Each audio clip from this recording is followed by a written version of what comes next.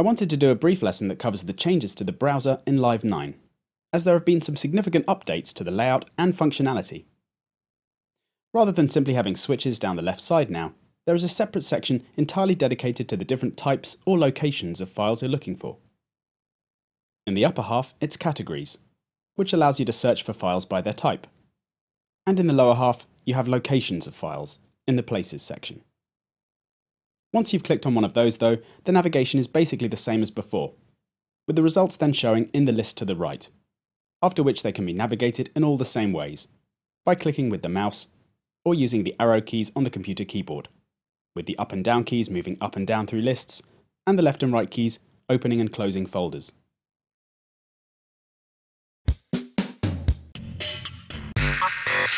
As you can hear, selecting results now previews them using Live's improved auditioning facility. As before though, this is stopped with the spacebar and turned on and off more permanently with the switch at the bottom, and the preview volume set with the cue dial on the master channel.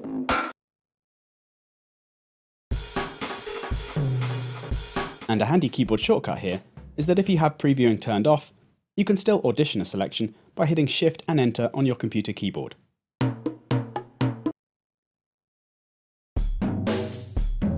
Loading a selection is done, as always, by double-clicking it or dragging it into your set. So let's go through the different options in the left-hand list then, starting at the top. The first category is Sounds, and this is all your presets, be they individual instrument presets or instrument racks containing multiple instruments. The cool thing here is that the list on the right is now divided up by the type of sound, but includes all Live's instruments. So if I open up the bass folder now, then the list contains .adg and .adv files. The ADV options are all individual instruments, which could be Live's sampler instrument or one of its synthesizers. Whereas the ADG options are racks, which contain one or more instruments and often a chain of effects too. If you prefer to though, you can still search by instrument type rather than sound type, which is done by clicking on the Instruments category. This then displays the list of live instruments, the folders for which can then be opened to see the available presets for that instrument, once again categorized into the type of sound the preset creates.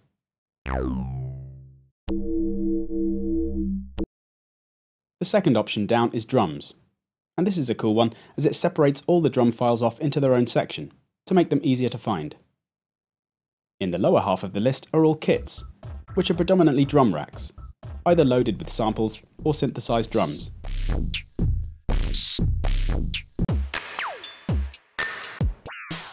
And there's the empty drum rack option at the top here, for creating your own kit. Just above this, you have a drum hits folder, which contains different types of drums. These can be simply audio files, or one of live samplers loaded with the sample and processed with effects. Both of these can be dragged to drum rack slots, however, to become one of the drums in your kit. Effects browsing is completely identical to the previous browser, only now you have separate category switches for audio and MIDI effects. And as before, there's a plugin switch for browsing to any AU or VST instruments or effects you may own. Activated in the same way, using the switches in the File folder section of Live's preferences. One thing that is completely new to Live's browser is Max for Live, which offers a load of additional effects and instruments to all Live 9 suite owners, as it's included for free with that, or is available for a small cost for owners of the standard version of Live. Essentially, the Max devices work the same way as other Live devices, in that you add them to audio or MIDI tracks in the same way, and they all come with a few different presets to try.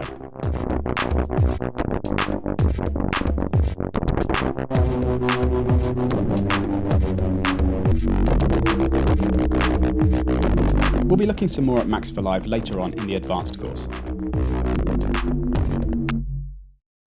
Two more brand new categories in the browser include clips and samples.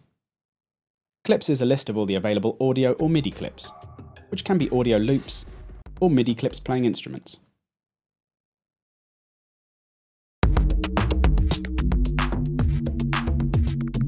And samples is all of the raw audio samples, so all instrument drum, vocal, or effect sounds at your disposal. The lower half of the left section is a quick way of accessing the different locations on your computer you might want to search for files in. One you may recognise from Live 8 is the library. This is all of the library content from Live 8, so there's no need to worry about losing anything when you upgrade Live, because everything is available directly there. Then you have the Current Project option, which is a shortcut to your project folder, which will contain any audio files you've recorded, consolidated, or collected into the project. Another option is the user library. This is a new area, which is entirely dedicated to any things you save yourself whilst working in Live. So any devices you edit, or racks you build, or clips you create, and so on. And there's also an option for adding a new place yourself, if you want to have a permanent destination here for locating files, such as your sample library.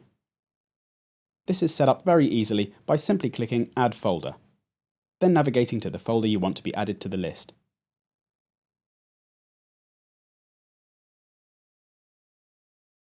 Lastly, at the top of the Places list is a Packs option. This is a quick way of checking out any packs you have installed on your computer. For anyone who doesn't know, a live pack is a collection of live sounds, which can be anything from samples and clips, to devices, or complete sets containing extra documents. Many packs are available in the suite, as well as there being more options that can be purchased from other manufacturers or downloaded from the Ableton website. Once downloaded, you simply double-click the pack file to install it into Live. The individual components from the pack can then be browsed and loaded from the packs folder, or using the category switches above, as a pack's contents are often loaded into the main library. So you'll see more options appearing in many of the sections lists when a new pack is installed. Finally, Live has an improved search facility, which means you can look for files in all categories simultaneously by their name. There's a useful keyboard shortcut here again too. You just hit Command and F on a Mac, or Control and F on a PC, then type in whatever you're searching for. After which you get both device presets, clips and samples showing up in the list. Now I can use the up and down and return keys to choose one from the list.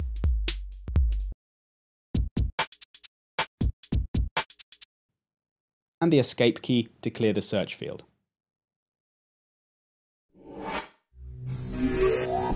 You